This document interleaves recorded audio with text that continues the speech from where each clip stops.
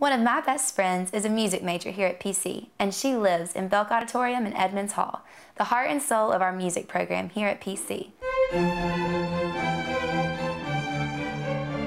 Not only do we offer options here at PC in vocal and instrumental performance, but we also offer a variety of genres, from jazz to classical music. Our students here can do it all. Freshmen are immediately immersed in all the opportunities of the college.